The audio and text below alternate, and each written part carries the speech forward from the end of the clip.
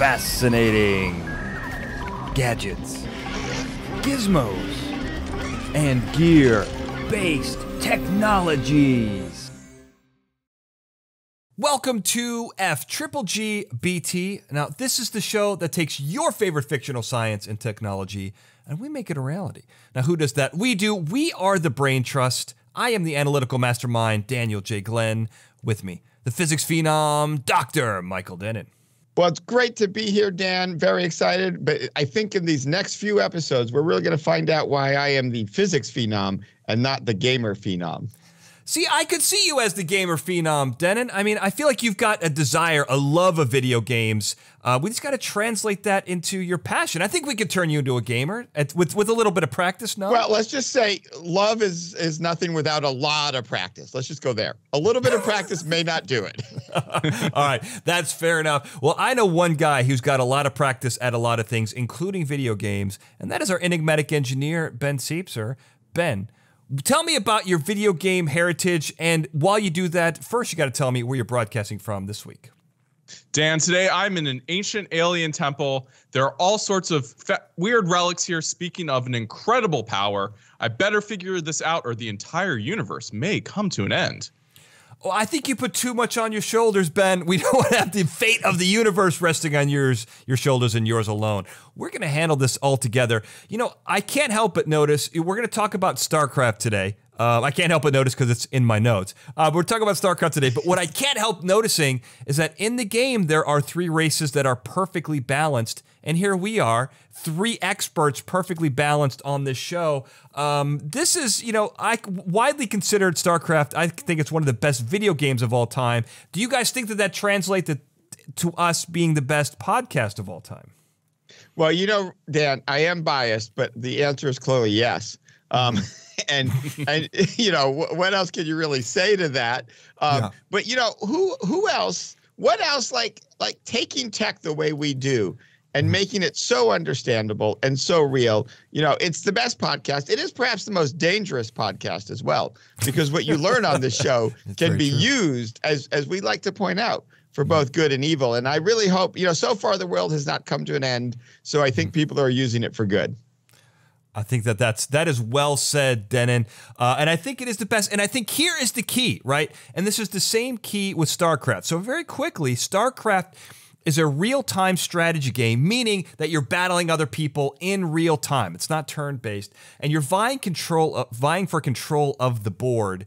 And this is a game that came out in my youth and is still being played competitively across the world in almost an untouched form from you know the the late 90s when Brood War came out. And I think what makes this game so appealing and so enduring is again, it's the equilibrium. It's the perfect balance. It's the the there's three races that really in some ways operate like paper rock scissors and I love that it's a perfect balance. You know, this this Blizzard tried to come out with, with uh, another game that had four races. It all fell apart. So there's some magic in three. You know, I love comedy. There's a, there's a, a magic in th the, the rule of threes in comedy. Uh, it's a very strong formula. So Dennin, uh, as as far as physics goes, is there something that is special about three that makes it stronger that also translates to the real theoretical world?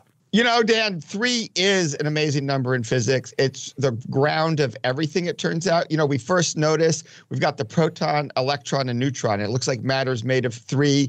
We go down farther and we find out quarks, and there's six quarks because there's three generations of two. Three just keeps coming up in fundamental physics everywhere. It's the ground of what we do in physics. I think it's because of this balance that you mentioned about and the equilibrium that is fundamentally due to threes. It's so important, Dan. Most people don't have a favorite number, but I do, and it is three. I've committed to that. well, well, I love that. And it's a good question because, you know, three is important in physics, but I imagine three has got to be important in engineering as well, whether it's mathematically or structurally. Three's got to be a powerful number when it comes to making the things that uh, that are, are in the world.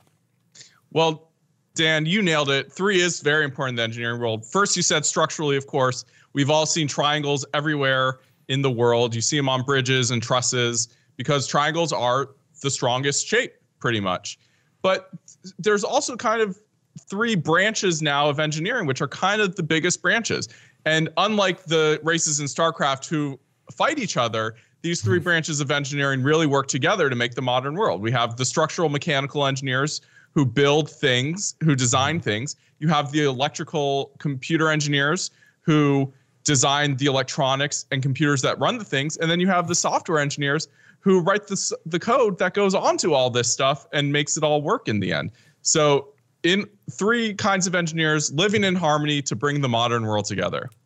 Well, that's great. In engineering, there is a harmony, but in this game, there's acrimony. There are three races that are vying for control, uh, for superiority, right? So it's a very different approach, which is interesting. So very quickly here, uh, I want to talk about the races uh, in this game, StarCraft. We're going to talk about. Um, if you're familiar with the Alien franchise, use that as your mindset when you think of the Zerg, which are kind of like they're insect-like creatures that use biology uh, and fast uh, metabolism and, and ability to metamorphose, metamorphose, use metamorphosis. There we go. That's how you say it. Use metamorphosis to survive and mutate uh, into the next thing. Then you have the Terran, which are like humans relying on technology uh, to, and cybernetic implants to, to gain an advantage. And then the Protoss, which are a little mysterious. Uh, they've got seemingly, you know, think of them as like the gray aliens, if you know a little bit about that, um, uh, or even I guess the Predator, maybe. Uh, but these are creatures who use maybe psychic abilities, some advanced energy, definitely high technology to gain their advantage. And I, I want to, I want to explain. So that's how this game works. We've talked about paper, rock, scissors, if you want to get that kind of an idea. But I want you guys, I want to tell you guys a story about some lizards. You guys want to hear a story about some lizards? We would love to hear a story love- about lizards, Dan. I love reptiles. I was really hoping to be a story about octopuses, but I'll, I'll go with lizards. Uh, well, we're now using the plural octa- octopodes, by the way, Dan, and that's Oh, okay, what we're going talked- with now. Okay, I, I can't. We're gonna- well, I can't pronounce that word, Dan. So that's why I went with octopuses or octopi. I can't pronounce it or spell it, but we're gonna we're gonna go snobbish here because I, I just think the word looks really cool. So we're gonna talk about the side blotched lizard here, guys, and this is really cool. This is paper rock scissors in the real life in biology. Really quickly, uh, there is blue, there's orange, and there's yellow, and so they're basically described by the males mating strategy. Okay. And what's so strange is they announce it to the world with their throats. But here, really quickly, the orange, they're large and aggressive, have big territories and a harem of women. The, the blue, uh, they have a small territory, only one female, and they cooperate with other males to defend both their territory and their singular female. And then there's the yellow group, which they're called the sneakers. Their males have the markings and behavior of the females, so they sneak past the males. It's kind of like when Bugs Bunny would dress up in drag. He kind of sneaks past the males, and then they're able to mate with the females, and then they get out of there. But they don't have any territory of their own. They're kind of on. They're kind of they're they're rogues. They're the rebels. Uh, they're the nomads uh, of the blotch side blotched lizard group. But what's so cool is that in in practice, orange beats blue blue beats yellow. Uh, I'm- I'm sorry, yellow beats orange and blue beats yellow. And so over the course of, you know, uh, every couple of years, they oscillate who's in charge. Now, this is so cool because in some ways, this explains how nature works, how equilibrium works, that they're all kind of, you know, they're, they're geared to fight each other. What do you guys think about this? This is what's so cool, not only of this game, but nature itself. It seems designed to be in perfect harmony, you know, when humans don't get in the way. Well, you know, Dan, it does make me wonder if the first creators of StarCraft were actually biologists who knew this. Um, It really sounds like it, it, you know, it's a bit of a leap, but there are some real analogies, I think, to the three races in StarCraft we could make. Um, people might then complain and it would be a stretch, but I'm going to throw it out there because Devin. that's what this show does. We take risks. Um, see earlier comments. We are the best. Um, so- let's not Do get it, too Dennis. self-congratulatory, but we might as well come in threes. I'll say it one more time for the third Yep. time. We are the Yep. best, and Yep. then pass it on to Ben. the, the lizards are this this harmony is an interesting example of how things do work in nature. You have these creatures that always, you know, all creatures go kind of back and forth. And we see that in the StarCraft universe too. You have you know the you know we start out the humans are kind of in the most power but they've kind of strayed into the protoss space the protoss leave them alone but the zerg see them and think ah there's some new genetic material to incorporate into our brood to advance ourselves and they come in and they start infecting the terrans and trying to steal their psionic latent psionic powers to improve their race and then the Protoss see that, and now they have to get involved, and they knock the the Zerg down a peg, and then the humans get you know come back and they knock both down a peg. You know, it's this constant balance both in the real world and in the fiction of StarCraft. I well, just have to add to that, Dan. One yeah, thing. yeah. Go ahead, please. You yeah. mentioned the balance is perfect until it's messed up. Um, this is where yeah. my inability to play comes in. Um, you know, humans mess it up. We're the ones playing these characters, and I think that's why people eventually do win or lose in the game. It's not the balance of the creature; it's the messing up of the humans. So I just want to say, humans mess up not only in the real world but in the game world too. At least for me.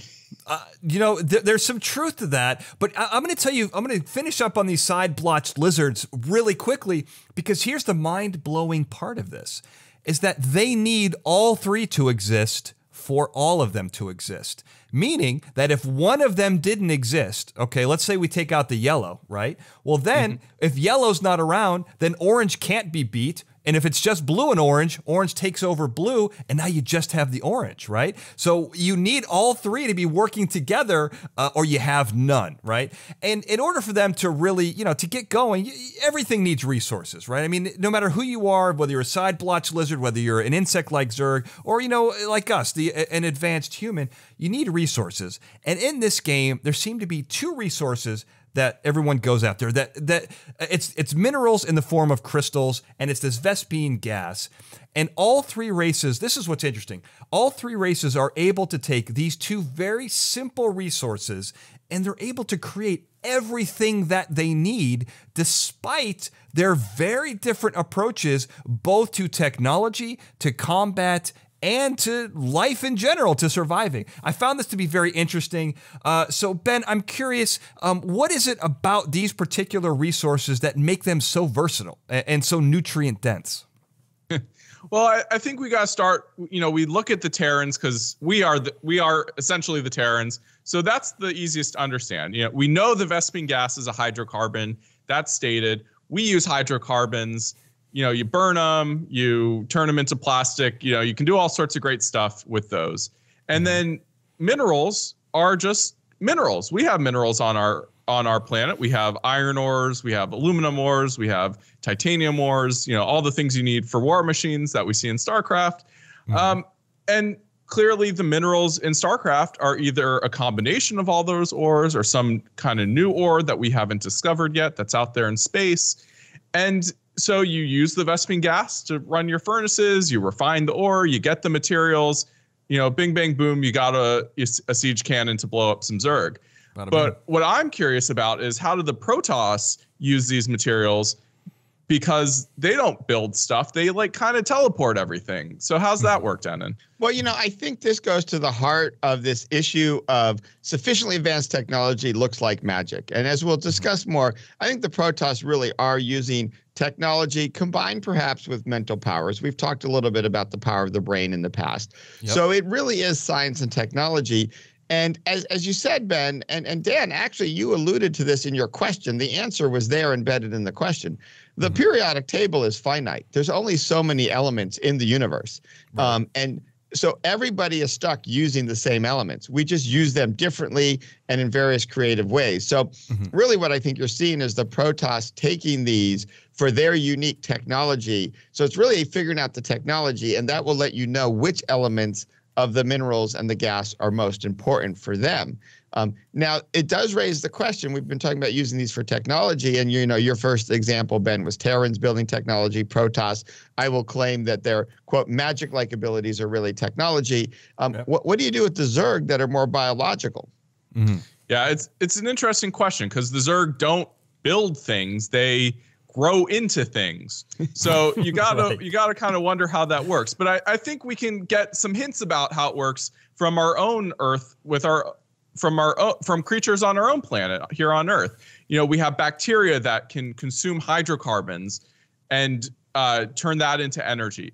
You have plants and animals that turn minerals into important parts of their biology. Uh, mm-hmm. You know, we we have calcium in our bones. That doesn't come from. I mean, it does come from the food we eat, but doesn't come from the hydrocarbon part of the food we eat. It comes from the leftover minerals in the food we eat. So in my mind, the Zerg, they're using the hydrocarbons and the Vespene gas to kind of get the energy, and they're using the minerals to grow their strong teeth and claws that they use to slash the Terrans and the Protoss open. I mean, it makes sense. And the other thing we got to keep in mind here is in this world, the Protoss and the Zerg are engineered races. So, you know, when you know you talk about uh, you know, bacteria that can eat, you know, eat oil and poop out strawberry jam or whatever, whatever we want to do with them, right? Uh, I don't know if that's a thing, but I think Gotta we work on that it. one, Dan. right. I think we I think we described that in an earlier episode. I think, I think so. We're working on that privately. Uh, that's TM. But you know, I think if you were to take that a level up and not do it with bacteria, but do it with creatures, you can make uh, you know biologically engineered creatures that could use these minerals and the gas in any way that they needed. Right? I mean, that's that seems pretty easy.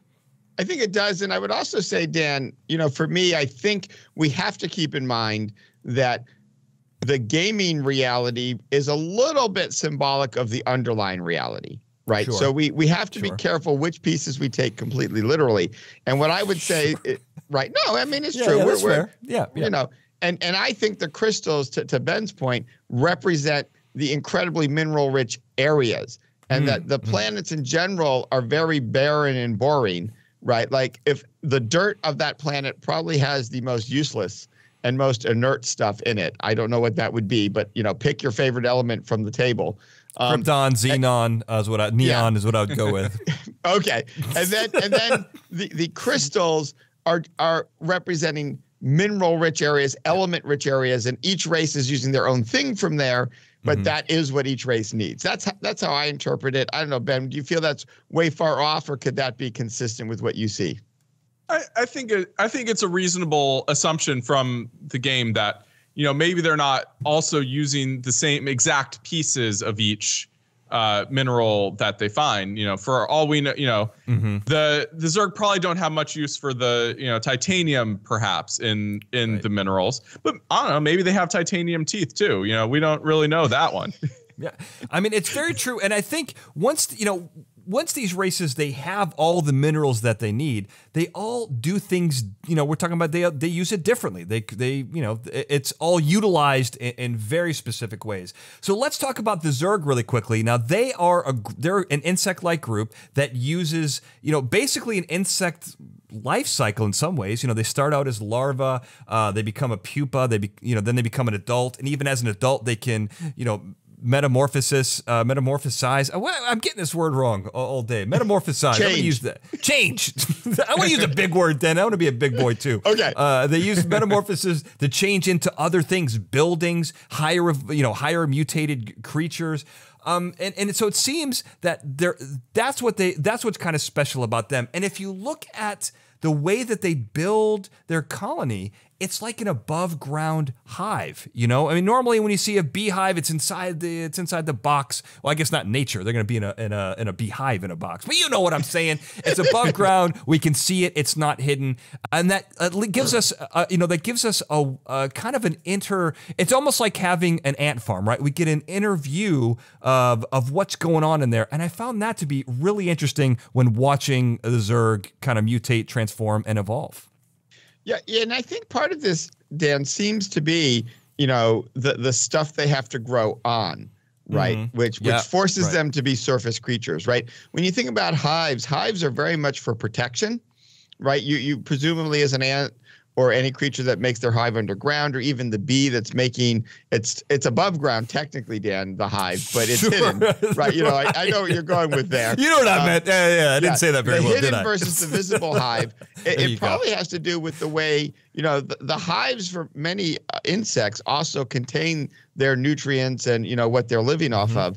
And Mm-hmm. Yep. here it seems to be an interesting surface nutrient um, Mm-hmm. that you know leads to the engineering design. And I think this happens a lot in sort of engineering situations where it's the constraints of your energy source or your fuel that really limit your design options. And I feel like they had mm-hmm. limited design options when they have to live on surface goo.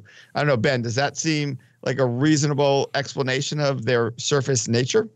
Well, I I'm gonna, so, before you I- answer Ben, before you answer Ben, I want to I want to point out something you said there, Den, and just to clarify, they do kind of live on what's called the creep, which is almost like a slime mold, and everything that the Zerg do, it has to be on top of this this goo, this mucus, this membrane that you're talking about, which is vital probably for mineral transport and exchange. Uh, but I wanted to make that clear. I don't think I made that. I don't think I said that very well. Um, Okay, and, and you're sorry. okay with my technical term of surface goo. Surface goo is great. I think we should use surface goo from here on out for the episode. Okay. So, Just uh. Ben, uh, yeah, tell us about the surface goo and its Well, I think- importance in the Zerg structure. Well, the important thing is it's purple surface goo, which you know, Yes. purple is a great color. But Um, yeah. I, I think we also have to remember that the Zerg are not exclusively an above ground species. You know, w- we see them with their Nydus worms. They they clearly have tunnels and can do all sorts of things underground. I think in some ways the creep may just be what what is visible of an underground an actual underground network of slime molds and other things that allow the hive to communicate across their vast creep uh, you know also like you know they only have a couple larvae exposed at a time and they only come up when they're ready to you know mutate into another creature. I would bet Right. that there's lots of eggs and larvae underground at some level of incubation process absorbing those uh, absorbing the nutrients that are gathered from the above ground, and then Yeah. they emerge once they're ready to become zerglings or hydralisks or whatever. That's really interesting. I think there's something to that. And, you know, when you're, one thing I want to mention that I think is interesting is they do have some connection to slime mold, fungus. There seems to be some kind of, uh, you know, mutualism going on here or some symbiotic relationship of some kind. And the thing that I thought was cool is you can actually create a creature that can infest a Terran command center and create Terran infested um, little guys running around that can explode. And this is very similar. You know, we've talked about it before. This is similar to the cordyceps fungus, which, you know, it evolves alongside of other insects, ants, grasshoppers, uh, you know, various different other insects to, to affect them specifically and basically turn them into mindless zombies capable of spreading the spores uh, to other insects to infect. In, infect. Uh, so I thought this was a very interesting strategy, and the strategy of the Zerg, you know, they do a lot of insect strategies. They they grow very quickly. Uh, they they you know the, the same thing as cockroaches. It's quantity over quality. As many as you can, get them out. Um, and I think you, you kind of have a, a weird combination of fungus. Uh, mold, uh, insect, and you know, and even arachnid too. I think is involved in there. It's a very cool. I'm, I'm trying to tell you, I, I love the Zerg. I love what they do, and I love the biological approach. I think it's amazing, Dan. I will agree with you completely, except for one minor point. Mm-hmm. Um, I'm not sure the cockroach is a good example of quantity over quality because the cockroach also seems incredibly hard to kill. I would Mm-hmm. argue the average cockroach is probably stronger than the average Zerg. If the Zerg could get some cockroach DNA, um, the Yeah. balance might be That's the broken. move. Just saying. That, that's that, that's my only minor correction to your analogy. But yes, in general, I agree. It's it's it's it's a fascinating sort of biological mix of life forms to our detriment. We as humans often ignore.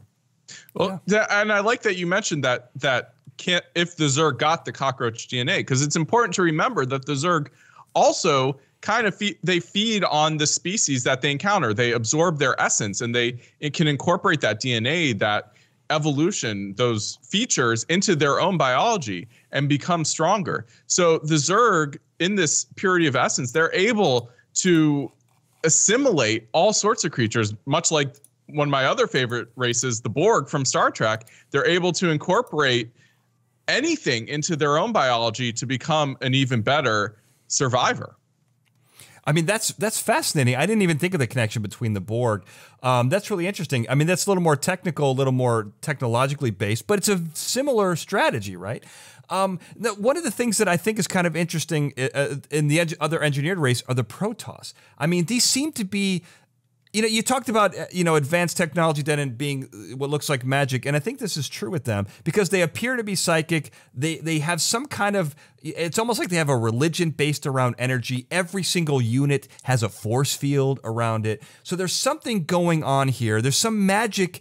Uh, well, not magic. There's some there's some truth that they've tapped into that allows them to have the superior technology, which that gives them an advantage. They're the ultimate quality over quantity. So how, you know, Dana, when you look at the Protoss, how would you explain what's going on here and how they can really use this to their advantage?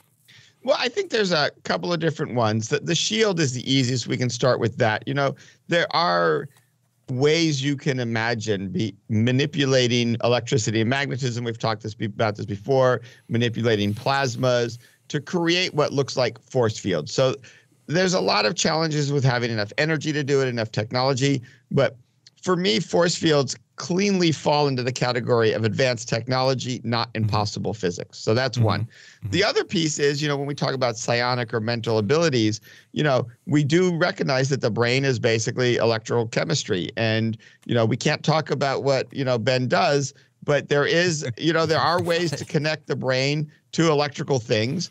Um, we mm-hmm. we can talk about that at what UCI does. You know, we're doing that all the time connecting to brain signals. So you could imagine a biological race with it because it's been engineered with an even more powerful brain system that can do things that look like what we typically call psionic powers. So I think if you're really going to get at the technology and magic, you're always looking at the teleporting and asking what is really going on there. What type of teleporting is this? Are you taking advantage of quantum mechanics? Are you taking advantage of relativity? You know, we've looked at a lot of different teleporting races, and and you always come back to again the energy. So this is the race of the three that is most dependent on energy and they mm-hmm. got to build that resource and connect it to their technology. So that's really that's my starting point for them, Dan. Okay, I mean that's a great starting point. I want to ask a little bit about uh, dark matter and how you know how you have. And, and Ben, I want to talk to you about this first because I know I know you enjoy the Protoss mm-hmm. very much. But so you have these, you know, you have these two Templars, right? So you have these two creatures that can combine into one, right? I think this is kind of interesting. So when you look at if you're trying to engineer that effect, I mean, is this purely a physics thing, or is there something that you could do that would mimic this effect without actually combining two energy forces, or is this truly an E equals MC square question that uh, we need Dennin to answer? Well, it might be that too. I mm-hmm. think it goes back though to the teleportation powers, which I think could also maybe be a part of their shield powers too. You know, mm-hmm. maybe they're you know, taking when you know the Terrans shoot a bullet at them, it doesn't absorb the bullet; it just teleports it somewhere where it doesn't matter. right. uh, into, into deep space, right? Yeah. yeah. But I I think the the Archon fuse, right? The Templars fuse into Archons, and so that could simply just be you know, we see a very good example of this in one of their one of the cinematics where the two, uh, you know, Templars kind of do like the buddy shoulder hug and fuse into this giant Archon. And I got to think, you know, it's partly a fusion and their bodies are kind of rearranging themselves into this archon. But we also know that it all can come back down to that transportation, that teleportation power that they have. They mm-hmm. can be teleporting in, you know, with their advanced additional psionic powers, they can be, you know, teleporting in new material to form the new armor that makes up the archon. I mm-hmm. think it all just comes back to that simple the Protoss can teleport whatever they need to kind of wherever they need it to be. yeah, and, and I think Dan, you brought up E equals MC squared here, and this mm-hmm. is where I think a lot of what they're doing is probably not instantaneous teleportation. Mm-hmm. Because look, it's all happening on the scale of a battle map that's not, you know, galactic scale length. Mm-hmm. And so really, once you just become sort of make that transformation into electromagnetic radiation and, and travel at the speed of light is going to look instantaneous. So the interesting physics that I feel like they've gotten control of, which is a little easier to sort of build on, is mm-hmm. that conversion of mass into direct electromagnetic energy and back in a mm-hmm. way that actually doesn't lose your form, lose whatever your consciousness is, and, and, right. and lose those pieces. So you again can imagine some very very advanced technology possibly doing this. You know you need massive digital storage to track who you are. You convert to a, an electromagnetic signal using a lot of energy. You send it to another place and then it reforms. I think the trick here is what's the receiver right? Every mm-hmm. teleportation and and i know i, I don't want Dan, uh, ben to get nervous because i'm going to talk about antenna you know? Right? right? yeah like yeah. You, you know trigger warning. most technological teleportation methods you think of require receiver. And that's the tricky part for them from the game point of view, because they do seem to be teleporting even where they may not have been before. And that's always the hardest thing to do. I mean, that's interesting. But we it's also the the Protoss have these you know tentacles off the back of them. You know, we, we talked about this psionic link they all have, and it and it comes from these tentacles on them, and that's what connects them to their kind of hive mind situation that they have going on. And I imagine I think of those tentacles as giant antenna because when they mm-hmm. cut them off, they lose that link. And so my thinking is that those antennas kind of work both ways. So as long as there's a Protoss there near where they need to teleport something, you can kind of you can focus that teleportation onto that signal that you and probably unique signal that every unique Protoss has on them. I mean, that's a really interesting way to look at that. I don't think I realized that they had tentacles on them, um, but I, I love that as uh, as a way to really they, they're connected through their tentacles. I mean, there's well, a, they're kind of dreads. yeah, know, space yeah. threads. yeah, space thread, like like the Predator, right? I mean, there's yeah, you know exactly. something similar to that. Flexible um, antenna. Yeah, biological flexible antenna uh, that's sutured onto to their scalp. Um, so you know, when, if we're looking past the Protoss, you know, we got to talk about the Terran. Uh, you know, these are essentially us in a couple hundred years. Um, I'm not convinced we're actually going to be around in a couple hundred years, but let's say that we are. That's the fantasy part of this, right? Uh, it's heavy engineering, it's advanced technology, and, you know, luckily we've got an engineer here. So, uh, Ben, when you look at the Terrans, you look at their advanced weaponry. Um, what do you like about it? What don't you like? What do they get right? And what is the, what can they use to their advantage? You know, what's really interesting is a lot of their tech is not very far off from what we can do now. I mean, the the biggest, you know, their tanks we totally understand. They have you know the vulture speed bikes which mm-hmm. you know they they float so that's you know that's a little star warsy we're not we're not quite sure how to do that one yet but they yeah. have a lot of vehicles that are just tracked and wheeled vehicles with big cannons on them mm-hmm. that part we understand i think the first thing that we see that's really interesting is they have power suits and mm-hmm. we've we've kind of tried to make power suits like iron man and whatnot but it, it's a tricky technology it's hard to kind of get all that technology into a form that looks that is human shaped and it's mm-hmm. also hard to make it such that the human doesn't kind of get ripped apart by the extra speed and power that the power suit can bring. Sure. So, but I think that's something we could figure out. That's that's a control systems problem. That's a engineering problem that I think we'd be able to tackle pretty easy, pretty easily if we really worked on it. The big one that we don't have yet is the space technology. Their space travel is fascinating. They have spacecraft that can go from atmosphere to space without seeming, you know, gigantic boost stages. That's mm-hmm. the cool stuff that I really want to figure out. How do we get these single stage to orbit battle cruisers and stuff like that? That's mm-hmm. that's the really advanced tech there. Mm-hmm. Yeah, that's something you know we've talked a lot about on this show before, particularly when we've talked about alien craft and or and even on some panels we've done right? This, this transfer between the atmosphere and the vacuum breaking out of gravity you know that really is the interesting tech. But I, I i have to just agree with ben that these are really to your point dan the rest in a few hundred years. I think that's all we you know a few hundred is not that long. If you said thousands right. of years dan you know i'd be a little more you know on your side. But a few hundred years you know and building tech like this unfortunately, we have proven our warlike capabilities, and that is usually where we make the first tech advances. So I, I'm I'm I'm not I'm not as pessimistic as you that this wouldn't happen. Uh, now, what it might do to us once it does happen, you know, that may be where you're right. We get to this point, and then we wipe ourselves out.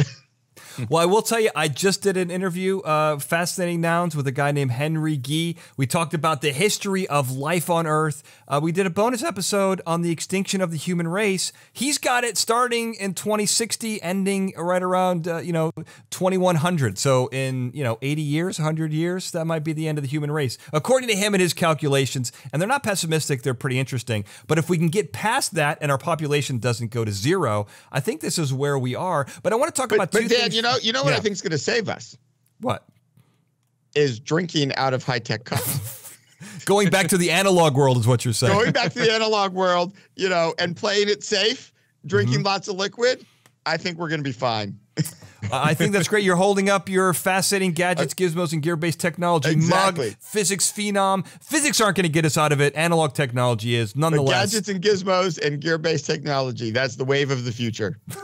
Yeah. that is the A- a- wave. As we've discussed before, you know, hydration is the key to survival. So Yes. hydrate as much as possible, and maybe you will, and maybe we will all survive this uh, dystopia uh, extinction that uh, is unfortunately predicted here. Well, and I will, for our people listening in audio only, Ben is holding up his water bottle, the Fascinating Gadgets and Gizmos water bottle, which is just a fantastic uh, vehicle for traveling, for taking water, traveling from your table to your mouth um, at light speeds or whatever, however fast your arm moves. and, you know, the Zerg are biology. Uh, that is technology, and I'm going to hold up one of the shirts here that we have also available on the Gadgets and Gizmos website. And I have to show you guys one other thing here. Uh, this is a shirt I don't promote enough, but this is one of my own design. It is an emoji version of the three of us. Uh, the three perfect triumvirate of power uh, that makes this show so perfect, um, and you know quite possibly make Star Trek, Star Trek, geez, Starcraft so perfect. Too many Star franchises out there, guys. Um, so two things I want to tackle really quickly before we end the Terrans and, and end this episode. They do two cool things that I really like. All of their buildings can fly, which is an incredible amount of energy, and also they're nuclear. That you can actually launch nuclear weapons uh, at at anyone that you're battling. I thought this was that, that nuclear power was primitive, but it may be that may be the best that the Terrans have. So I'm curious, uh, Dennin, when you look at this, do you do you think about the what, what do you think about both of these technologies? How advanced are they, and and do they have an advantage in the game? Well, well, clearly nuclear technology we have already, and when you think about it, luckily so far we've wisely, extremely limited its use because it really is probably one of the most powerful things out there and one of the most powerful things you see. Um, even when you look at other classic things like Star Trek or Star Wars, you know, the weapons don't quite go nuclear. Um, we do see it in Dune, just to throw out my whole triumvirate of, you know, science fiction um, Sure. venues there. Um, I wanted three of them. There you And go. now, and now we go back to the flying buildings. I I'm with you. That is the coolest new tech. That really is an interesting kind of like energy, um, aerodynamic challenge. You know, I would love to have flying buildings, um, and it may mean. Um, I'm just going to make a shout out to our steampunk episode. It may be fundamentally um, that kind of lift device that you want to have. Um, that Lift vehicle, I believe, is the proper lift terminology. Well, these lift are these are more well, lift buildings. All Lift right, this is even yes. larger, right? Um, I, I went with device because you know they're also sort of defensive and and Sure. and you know other elements to it. So they're they're complex. right, um, right, but right. Fair enough. I, I think you know, and you have Vespene gas.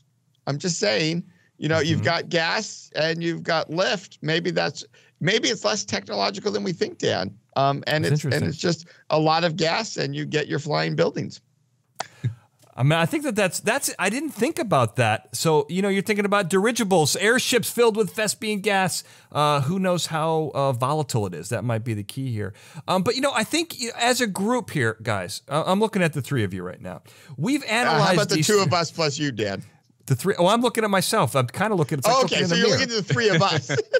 Yes, what did I say? you said the three of you. I figured you were putting another person out here. Yeah, no, no, no. The three of us busted again. You busted me, Dennin. Uh, the three of us. I'm looking at the three of us, and we've analyzed the three races here. We've given the pros and cons. Uh, we've really talked about what makes each what what gives each one an advantage over the other. But I'm curious. After discussion, you know, the three of us we've gotten together. What is your favorite race and strategy? Ben, I'm going to ask you first. Uh, which one do you like? Which one do you think would really be the superior group to go with? Well, Dan, I think you said it wrong. It's the Protoss and Kongs. Ah, yes. Yeah. yes. you know, you, you have these. I, I, I gotta go for the Pro Protoss. They're they're the oldest race. They've been around the longest. They've had the time to evolve, the most technology, the coolest technology. Unlike the humans, they seem to have evolved past nuclear weapons, so they're not quite as likely to nuke themselves into oblivion. Uh, you know, they have the cool hive mind when they haven't cut off their their brain tentacles. You know, so they've you know they have just a, a very civil society that works together to create amazing technology and explore the stars. And I, I, I just love that. Interesting. Uh, what about you, Dennin? You've looked at them all, uh, analyzed them, broken everything down. What are you going with? So, so Dan, I'm, I'm going to have to add a layer to this. You know, I think it's not just the race, but I'm going to actually um, go full in on the reality that there's a human controller behind the race. Um, and given my game playing ability, I'm going to have to go with the Terran um, mm-hmm. because I just like that core initial defensive strategy. I like the idea mm-hmm. of the mm-hmm. bases. I also really love a base that can fly away. I, I'm, mm-hmm. I'm very Monty Python. Run away, run away, run away. So sure. you know, having that ability to relocate um, mm-hmm. when when you realize you've made a strategic error is, is sort of key to my my approach mm-hmm. to this sort of um, you know sort of battle situation, war situation. So in many regards, that that sort of more methodical, you know, building up your your mechanical army, defensive approach, um, and waiting to strike at the right time. I, I think I think I'm most aligned with the Terran, Dan, because mm-hmm. as you said, right. as a physicist loving threes, they're all balanced. I could pick either one or you either could. one, any of them. ah, you ah, did it ah, too. I, I made the slip, Dan. You but but slip. I think mm-hmm. the one that most matches, uh, most aligns with my strengths has to be Terran. Okay, well, that's fair enough. I mean, I'm going to add a layer, but I'm going to add a slime layer to what I'm going to say. is I got to go with the Zerg here. I I find it so fun that they're able to mutate into whatever they need, and plus they they create forces at you know a breakneck speed, and they're one of the only races where you can take the very first creature that you create and just run them over to the other base really quickly. It's called a Zergling rush, uh, and just kill the other base that quickly. Uh, I like it. It's fast. It's it's not powerful, but there's a lot of creatures, and if you lose some, it's okay. You can make another one in two seconds. There's plenty of eggs, plenty of larvae laying around, and they can do whatever you need. I love that mutation aspect of it. So that's what I'm going with. But let's say you've got something that you forgot to talk about, something you wanted to mutate this conversation into. Well, this is the place to do it. It's our errors, additions, and omissions section. Things we wanted to talk about, but we didn't quite get to. Dennin, is there anything about StarCraft that you wanted to talk about we didn't quite get to? Yeah, you know, this is one of those great examples. I, as you mentioned, Dan, I love video games. I mean, mm-hmm. I am a, a, a, child of the 80s and the arcade, um, mm-hmm. but I am not at the level of video gaming I, I would love to be or imagine myself to be. There is this mm-hmm. disconnect between how I envision myself and reality. Um, sure. and, and StarCraft is that perfectly frustrating game for me because I really feel I should be good at it and and I, I have neither the time nor the physical capability to play it at the speed I would like. Uh, in prepping for this, I watched some professionals play, and I almost mm-hmm. curled up in a ball and cried. It was just so depressing. it's you know? amazing. I mean, yeah. it was like watching that. I will say I, have only played one real time strategy game in my life where you know, and and discovered. I think it's the click speed. I think mine may be negative if that's possible or anti. I, like I, I don't know. Like very difficult to attain that. By the way, that is that is that is impressive in and of itself. And, and but I just I really love the idea of balancing you know get your resources build but when do you attack when do you have enough resources you know the strategy of it appeals to me at, mm-hmm. at a really deep level it's that tactical maneuvering of of your um you know your people that always kill me so that that's my right. era addition there um I, I hear it's a lot like napoleon i hear he was a great strat- strategician. But or no, maybe he was the other way, a great tactician and bad at strategy was why he uh-huh. al- almost lost. But th- there's either a relation or an inverse relation between me and Napoleon in this regard. and that'll be a future error edition when I correct what I just said. Yeah, we'll correct that. That's our commitment to excellence to you, the viewer. We're going to get that right. Uh, what about you, Ben? Is there anything about this uh, StarCraft that you wanted to talk about that we didn't quite get to? Well, I, I just like the power of the mind that is displayed in StarCraft. You know, all three races in some way have, you know, psychic powers going on. You have the Zerg and their hive mind with the queens and eventually the Queen of Blades, Kerrigan, who, you know, controls the whole hive. Um, you've got the the Protoss with their mind control, and then the humans have latent psionics and their ghosts. Uh, you know that to me is just fascinating, and I like how th- that is taken advantage of again by the Protoss in their Dark Archons who can mind control units mm-hmm. and have them do their bidding. And as the Protoss, you can you can capture the workers of the other races and have a army three times the size of anyone else because you have a separate supply count for each race, and that, you know, one more reason why I think the Protoss are the best.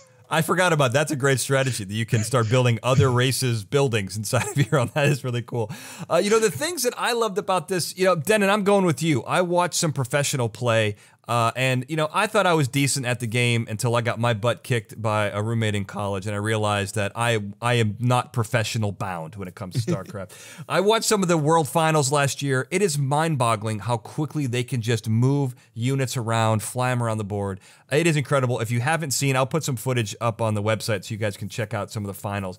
It's it's incredible. And this, I have to say, I believe this to be one of the best video games of all time. I looked at the uh, IGN's top 100 list. It falls in at number 48 I couldn't believe that. I could not believe it didn't crack the top 10. I think there is a, an emphasis on single player adventure games, open world games. There's a there's a, a, an ist. There's some kind of uh, bias going on here against real time strategy because they're a little out of favor. Uh, I think it's ridiculous. You're missing out on something here. StarCraft's a great game. So Dan, um, can I add one more thing to that? You just reminded me of another error in addition. Yeah, so we talk do. about the perfect balance and the different skills. I think there's also a bias against what I would see as my perfect skill in the race I mm-hmm. want to play, which mm. is talking people to death. Um, right. I, you know, talking is underrated in these games. I mean, really, if I was in a situation, I would be the negotiator. I would mm. talk myself out of anything and talk myself into the ideal treaty that favors me. So I want to play the race that's number one skill is talking the other races um, into the ground. So just throwing it out there for the gamer developers that are listening to us. Um, I, I want the game for me. Well, I will tell you, unless you're a cult leader, it is very difficult to weaponize speech and weaponize conversation. No, no, it, it's uh, the negotiating. You negotiate the piece that's favorable to you, and you end up winning. Sure. Yeah, I, that's fair. That's fair. Uh, it's not as action packed, Dennin. Uh, I don't know that's going to appeal to the to the young gamer, but I like what you're doing there. Uh, but if you have any suggestions, if you want to help Dennin develop this game, we want to work out the bugs here, not the Zerg bugs, the regular programming bugs. You can do it. You can get in touch with us on social media. We're easy to get a hold of. We're on Facebook at F Triple G BT. We're on Twitter at F Triple G BT Pod. But you can get in touch with us individually. Dennin, where can people find you? All they got to do is switch my name, and on Twitter and Instagram, I'm at Dennin Michael. And then, of course, on Facebook, you do stick in the prof at Prof Dennin Michael. Ben, where can people find you? You can find me on all the major social media networks at B Siepser. How do you spell that? Spell that B S I E P S E R. And I can be found on Twitter at Daniel J. Glenn, on Instagram at the Daniel J. Glenn, on Facebook at Analytical Mastermind. And if you want to send us a question, if you have a general correspondence, a comment, you can find the show on e- email questions at ftripplegbt.com. And if you're listening to us on your favorite podcast platform, make sure to rate and review and double check that you're subscribed. And if you're watching us on YouTube, hit the like button, subscribe, and ring that bell so you never miss an episode and you help us out with that algorithm. And finally, this show contains powerful scientific information that can be misused by those hell bent on world domination or possibly taking over the entire galaxy. Now, you want to be careful with this information. Use it for good and be a superhero. Do not use it for ill and be a supervillain. So, until next time, thank you for listening.